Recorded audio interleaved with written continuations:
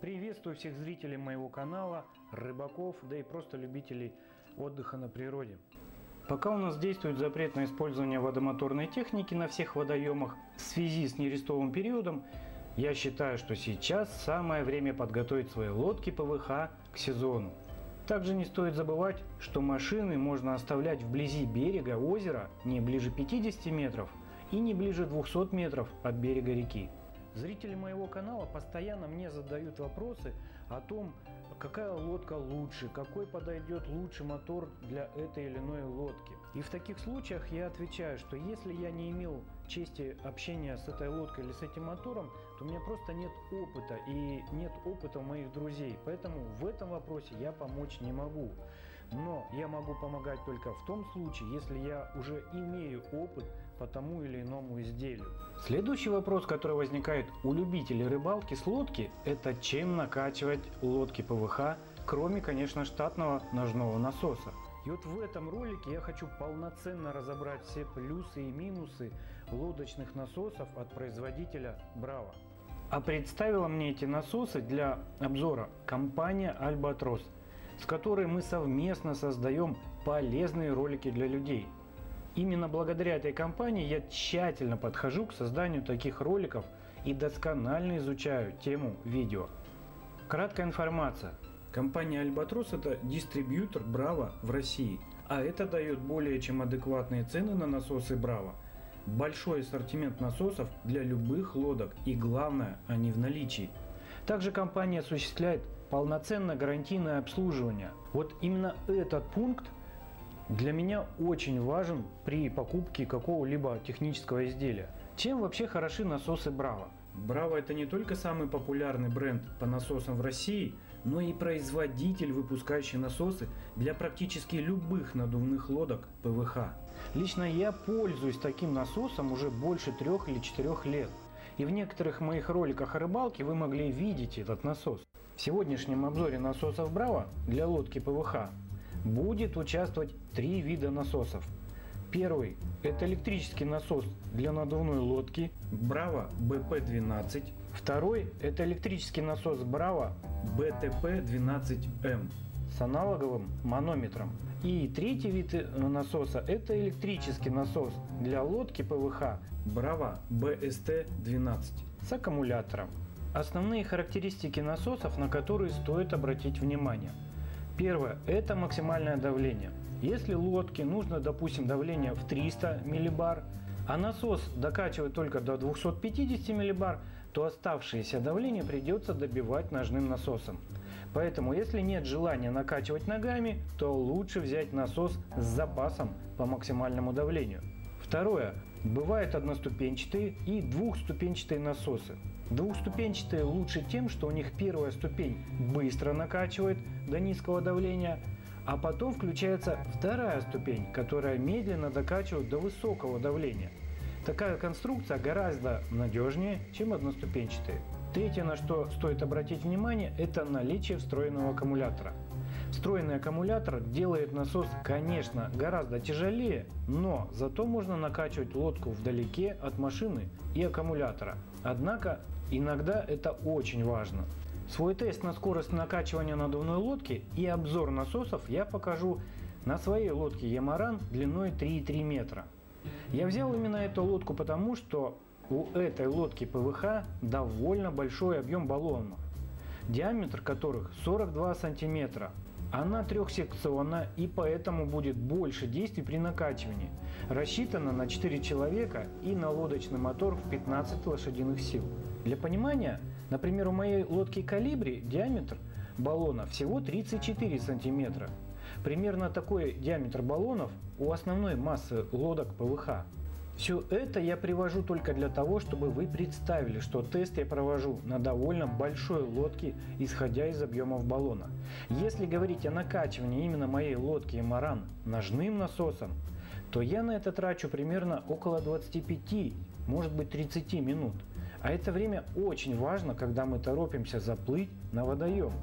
А теперь посмотрим, за сколько справятся с этой задачей испытуемые лодочные насосы. Начну я свой тест с небольшого по габаритам насоса для надувных лодок Bravo VR12. Все тестируемые лодочные насосы могут не только надувать лодку, но и скачивать воздух из нее. Характеристики данного насоса вы можете посмотреть, поставив видео на паузу. Данный насос работает от автомобильного аккумулятора и в его комплектации имеются такие довольно упругие клеммы с проводами, стандартный набор переходников, на самом насосе имеется регулятор давления, ну и конечно идет к нему сумка. Итак, прикручиваем шланг. В этой модели для нагнетания воздуха в лодку он прикручивается к боковому отверстию насоса. Подбираем нужный переходник, устанавливаем необходимое давление, которое нужно, чтобы насос накачал после чего он самостоятельно отключится. Подключаем клеммы к аккумулятору, соответственно полярности красный это плюс, а черный это минус.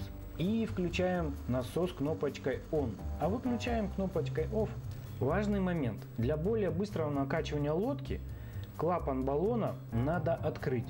А в конце вынимаем шланг и закрываем клапан. Если необходимо, то докачиваем баллон до нужного давления. Итак, один баллон этот насос накачал примерно за 3,5 минуты. Все то же самое делаем и с другими баллонами. Накачивать лодку надо с кормовых баллонов лодки ПВХ, то есть с баллонов, которые находятся сзади лодки. Почему?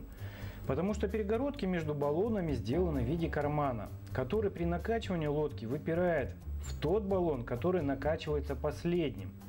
И выглядит это вот так. Я накачал задние баллоны лодки, и вот эти перегородки между баллонами сейчас стали выпуклыми, как в полусфере, в сторону пустого баллона. Все дело в том, что в 90% случаев первым делом при внештатной ситуации пробивается об коряги и другие вещи именно носовая часть лодки. И если мы будем накачивать лодку с носовой части и перегородки будут выпуклыми наоборот в кормовую часть лодки, то при спускании переднего баллона перегородка с надутых баллонов развернется в сторону пробитого баллона. И при этом упадет давление сразу в обоих кормовых отсеках. И соответственно уменьшится общая плавучесть кормовой части лодки. Поэтому нужно всегда накачивать лодку именно с кормовых отсеков. Ну а теперь посмотрим результаты общего времени, за которое этот небольшой насос накачал мою лодку полностью. И они составили 11,5 минут вместе с килем.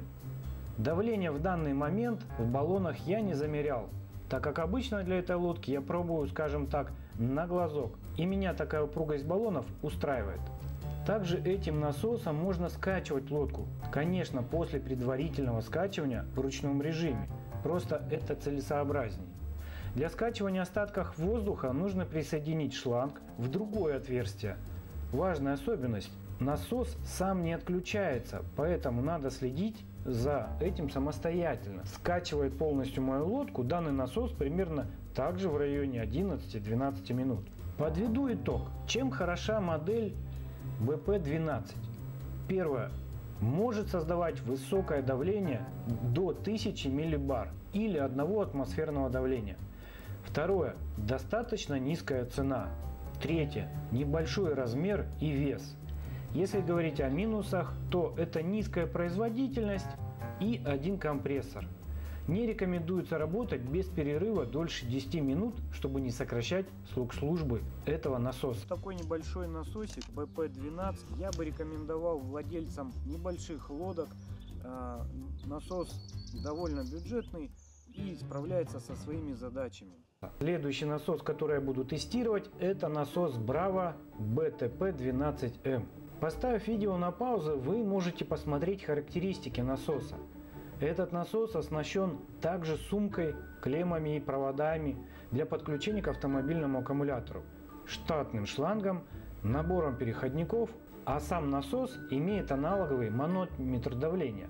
Подключение насоса такое, как и у предыдущего варианта. Главное отличие данного насоса для лодки в том, что у него есть возможность накачивать лодку до 1000 миллибар или до 1 атмосферного давления – то есть этот насос подойдет уже для довольно мощных лодок, даже для лодок с надувным дном. насос работает в двух режимах. При первом режиме он очень быстро накачивает основной объем воздуха, а при втором режиме он автоматически включается, что сопровождается вот такими звуками и докачивает баллоны уже до высокого давления. Кроме того, он очень быстро накачивает лодку. Например, один баллон лодки он накачал всего за 2 с небольшим минуты. Также этот насос имеет производительность 450 литров в минуту. А это, я вам скажу, шикарно. Это значит, с его помощью можно быстро накачивать любые матрасы для ночлега. Например, у меня при ножном насосе на накачку трехместного матраса уходит минут 20. Также мы часто практикуем катание на ватрушках, и тут такой насос также будет очень кстати. Второй баллон насос накачал также за 2 минуты, а носовой баллон лодки ПВХ я решил накачать с закрытым клапаном, и он накачал этот баллон за 2,5 минуты. В общем, лодку данный насос накачал по мне очень быстро, всего где-то за 6,5-7 минут. Киль насос накачал за считанные секунды. Скачивать лодку насос также быстро. Итак, чем хороша модель BTP-12M? Первое. Докачивают до 1000 миллибар. Это очень высокое давление, которого хватит для любой лодки, даже с надувным дном. Второе. Здесь два компрессора. Один быстрой накачки до низкого давления и второй для докачивания до высокого давления – Третье. Достаточно хорошая производительность 450 литров в минуту, что дает возможность накачивать быстро не только лодку, но и другие надувные вещи типа матраса или ватрушки. Третий насос – это аналог моего насоса. Но важное отличие, которое он имеет, это наличие автономного аккумулятора. Его характеристики можете посмотреть, поставив видео на паузу. Данный насос имеет в комплектации также сумку, сам насос, переходники, шланги и, конечно, литиевый аккумулятор, ну и автомобильную зарядку. Данный насос накачивает лодку до 300 миллибар или 0,3 атмосферы. Это, конечно, может быть для какой-то лодки мало, но производительность также 450 литров в минуту, что также поможет вам довольно быстро накачивать любой матрас или другую вещь. В этом насосе есть уже регулятор давления. Для работы насоса нужно открутить крышку, присоединить клемму насоса к литиевому аккумулятору и закрутить все обратно. Далее, пока вы едете к месту рыбалки, вы можете спокойно заряжать насос от машинного прикуривателя. А литиевый аккумулятор позволяет использовать его в любом положении. Далее, по приезду нам нужно присоединить только шланги выставить нужное давление и включить кнопочку ON. Данный лодочный насос, так же как предыдущий насос, достаточно быстро надувает баллон и потом переключается для нагнетания большего давления. Вот таким характерным звуком. Этот насос один баллон накачал за 3 минуты. Полностью лодку насос накачал примерно за 10,5 минут. Да, еще один полезный момент – так как у меня такой же насос, только без аккумулятора, я просто соединяю два шланга от ножного насоса со шлангом от электрического насоса, а место стыка заматываю изолентой. И у меня получается вот такая конструкция. Эта конструкция из шлангов позволяет избежать вылетания переходника из клапана лодки. То есть за этим попросту не надо следить. Обычно, когда насос переходит к накачке большего давления, переходник вылетает из лодки, а с такой конструкцией мне просто не нужно держать шланг и докачивать баллон. Подведу плюсы и минусы насоса BST-12 с аккумулятором. Первое. Наличие аккумулятора позволяет не зависеть от источников питания. Второе. Максимальное давление 300 миллибар. Не слишком много, но хватает для большинства лодок. Если нужно больше, просто придется добавить ножным насосом. Третье. Аккумулятор можно использовать при необходимости также для зарядки и других вещей, телефонов, эхолотов, фонарей. Из минусов этот насос имеет больший вес за счет аккумулятора и нужно докачивать ножным насосом, если давление необходимо больше, чем 300 миллибар. В общем-то об этих насосах я рассказал довольно кратко, но довольно важную информацию. Также важно изучить инструкции для каждого насоса. и знать, что у каждого этого насоса для надувания лодок есть определенное время беспрерывной работы. Для более долгого времени эксплуатации это время лучше соблюдать. Я еще раз хочу поблагодарить компанию Альбатрос, которая предоставила все эти э, насосы для этого обзора. Ссылку на эту компанию я оставлю внизу в описании под этим роликом, а также ссылка будет в конце под этим видео. Ну что, на этом я с вами прощаюсь. Всем пока, до новых встреч.